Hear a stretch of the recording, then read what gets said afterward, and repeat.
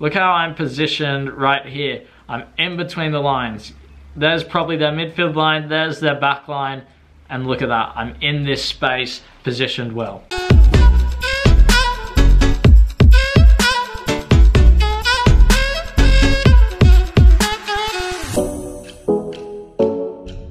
Yo, yo, yo, what's going on Team Tweedie? I hope you're all super well. Back with the game analysis. If you guys don't know what this is, I basically go through my game from the weekend, analyze it, go through the key points. I try and keep it pretty much unedited and I share with you my thoughts, what I was going to do, what I did in the game, why I did it, what I should have done better, all of that sort of stuff. So let's get right into it. I don't want to hold you guys too long, but I want you to learn. So th this game, mostly I was playing as an attacking mid. If you guys are new, don't forget, go down below, click that subscribe button and turn those notifications on. But getting right into it, kickoff, I nearly intercepted that one. And then I received this ball here. I don't think there's much to say. What I will say here though, I'll just go through this slowly. So I receive it and I check my shoulder. So as I've received it, check my shoulder there and I get my foot. And that little touch there to get it away allows me to get pushed and I fall over because it's a foul. I'm not going to try and stay up for no reason. He pushed me over, I get the foul. Ball here, I look to make my run in behind and he plays me the ball. I look up, this was very early on and I take a shot. Now if we take this back, at this point here, I should have been aware, actually this point right there. As soon there, I should be aware, checking my shoulders so that I can see all of that. Right now, all I can see is bang and bang. So I don't know about these two guys who are pushing up as well. If we play it, let's take a look here. If we stop it there, if I take one extra touch towards this guy and he will come closer to me, the defender, I can then look to play to this guy. Let me just move my phone. That's out of the way now. And then this guy can go, he might dribble here and we're in a 3v2. I can join in as well. It's just a better option. So need to be aware of my surroundings. Yes, the deflection, we get a corner so it's not too bad. We just could have ended up with possibly something better. Look to make my run in behind here.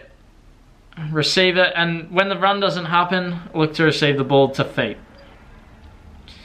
and we do a nice bit of play. Unfortunate that we lose it. Now, take a look at this. So I know what I want to do here.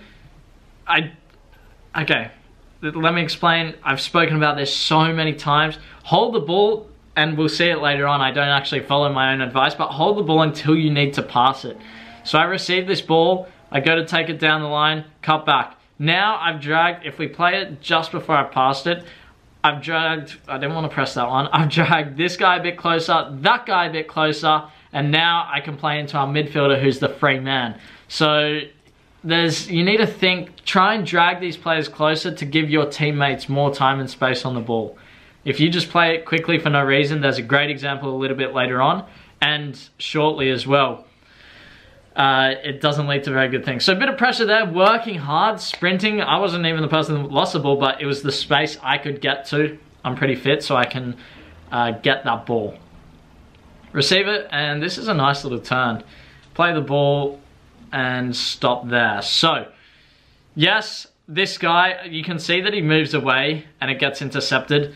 I'm not worried about that right now. Like, yes, it happened in the game, but right here, again, have a look at how free our number 12 is. So much space. And it's such an easy thing for me to do. All I need to do is one more touch in there, get out this way, and then play to him.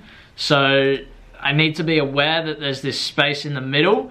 And when should I be aware of that? That's something that's interesting. Right now, as I'm receiving the throw, I should be checking my shoulder and seeing all of that. Right now, all I'm really seeing is that and that. And it's interesting because I really haven't had a problem in the past with checking my shoulder. Maybe the speed of the game is a little bit quicker and I need to just catch up with that. Try to win it back. I do get my foot in the ball. If that guy came in a little bit closer and we hustled together as a team, we would we would have won that, I reckon. Here working off my number nine, nice little La Croqueta, and unfortunate that he loses it. That was the end of the play, so I'll play it from here. Just working off, I'm not receiving that throw and it's a chip over his foot and move it down the line. So this is a move that can be used extremely well. If you see a player jumping in, a little chip over the foot there, you can see, works amazingly. Because if I do that on the ground, he tackles me, I lose the ball. But a chip over the foot, it's like that's his knee, this is his foot, and it's a chip over this area there. Look to do it in your next training session and give it a go. Ball goes forward, we intercept, and I look for another run in behind. Perfectly onside. Unfortunately, the ball was a little bit too hard. You can see, so important for strikers, attacking mids, wingers, time your runs. I'm timing this, I'm timing it, and look how I bend it there, because I know that I might be offside with the guy behind me, and as he's kicked it, which is at this point right there, I'm onside, perfect run. If this ball's with a bit more backspin, I'm in perfect line. Unfortunate that it goes a little bit too far.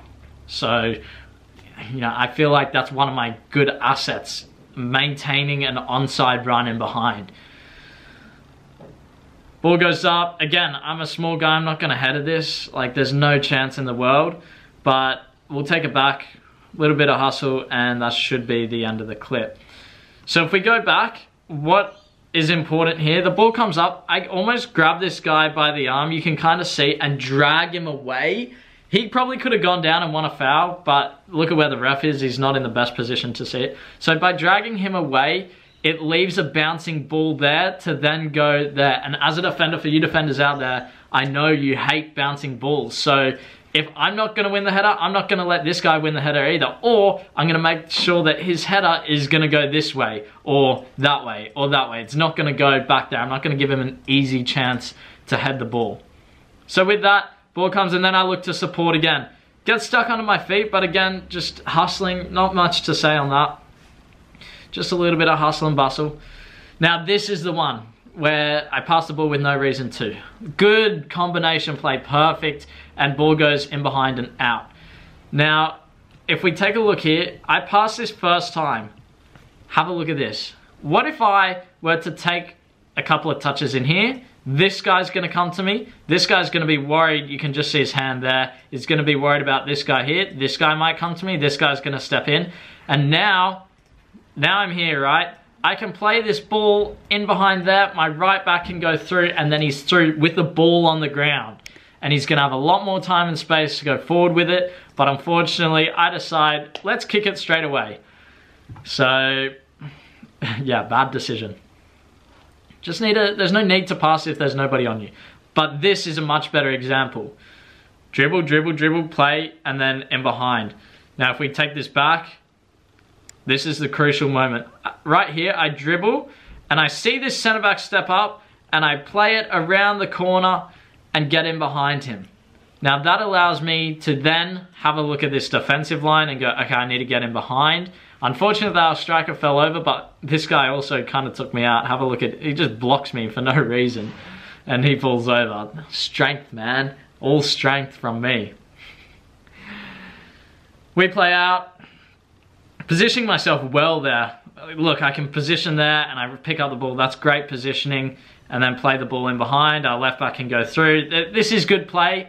What can I say on this? I mean, if we take it back, it's literally just supporting the number nine again, making sure that I can be there as an option. And if we take this back just a little bit further, look how I'm positioned. It's going to be a little bit blurry. Look how I'm positioned right here. I'm in between the lines.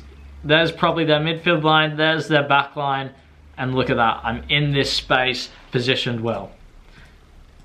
Play, go. So great little drop off in behind. And I drive, this time I see him an option, I see the left back going, I go, okay, I gotta get it out there to create a 2v1 quickly. So that's a time where I'm not waiting until someone's pressured me, I'm going, I need to get this quick so we can exploit this. Good, checking my shoulder. Look how many times I've checked it. Let's count. If we go back. So this ball picks up one check because I think I'm an option.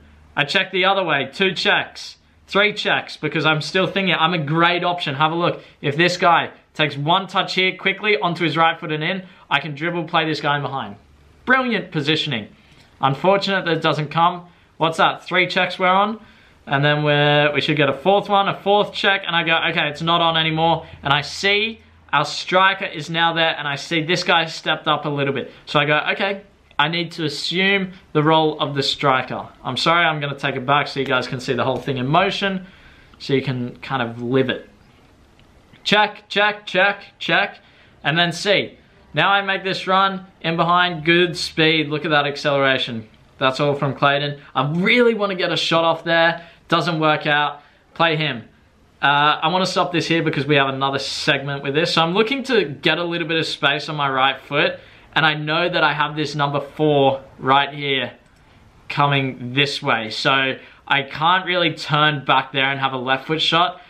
And he, I think this defender knows that I want to get a right foot shot in. Which, you know, that's what defenders are there to do, stop you from shooting. And here, we've spoken about this before. Yes, my player should be up here making a run in behind because imagine imagine our winger was here making a run there. Now I can chip this one in behind there. He's going to be through and goal. But he's not, so I help his positioning by forcing him into this area. It's not that far, but I force him higher up the field by playing it way out in front of him. He, look, that's a great 1v1 opportunity. Defender does well to stand him up. I would have liked to see a bit more bang, because I know he can do it. And then we have to reset from there. Ball goes ah, up. Oh, uh, this is not much. Guy just pushes me. Not much to say there. I'll skip through this. this is a bit of defense work. People say to me, Sheldon, how do I get defense work? I'm looking at the guy's eyes. I've said this in a game analysis before. Right here, I know that this guy's an option, but I'm also looking at this guy's eyes. Where's he looking? Where's he looking to play the ball? And that will determine where I press. But it's also just getting in there and getting stuck in. And push push this guy again, win it. And then we get the throw in. Oh, oh, I need to close that. That's no good. That may come up again. This is another example where I pass it way too quickly. Way too quickly. So and then they get to keep the ball. So here, I pass it at this very moment. Imagine, this guy's, no matter what, is going to keep running with him. I could either pass in there, that's a good, good option, but what I would prefer to see me do is dribble in here because this, like I said, this guy's gonna go, I dribble in here, now I'm dribble here and I'm forward, maybe create a 2v1, just dribble with the ball if there's, you know, there's no need to pass. I didn't have anyone pressuring me. And with that poor pass, leads to nothing. That was very poor. And then again, this is the same sort of thing. I think this is the last clip. So I really wanted this one straight to me. I was gonna have a shot. It comes to me and I rush it. No reason whatsoever. We'll take it back, have a look. I so I wanted to receive the pass straight from this guy. Doesn't happen, and I pick it up here. Not checking my shoulder again, and I'm unaware. I see runners in behind, and you know what? It's not such a bad ball, but there's not space in behind. There's just not. What could I do differently here? Hold the ball, stand still, and see what happens. If I stand still, players are going to move. This guy's going to go there. This one's going there. This one's running in behind. This one's running in behind. Look at these defenders. One, two, three. Bang. That could be the ball for our fullback to go forward. Those are the sorts of things. If I just stand still on the ball and wait for someone to pressure me, but poor decision. Very, very poor. What did we learn? Man, don't rush. Don't pass if I don't have to. Dribble that ball and don't be afraid to, you know, take a player or two on and I'll be back to my best. So Hope you guys also learned something from it. 10 to 80, I'm signing out. Make sure you like and subscribe and enjoy the journey. I'll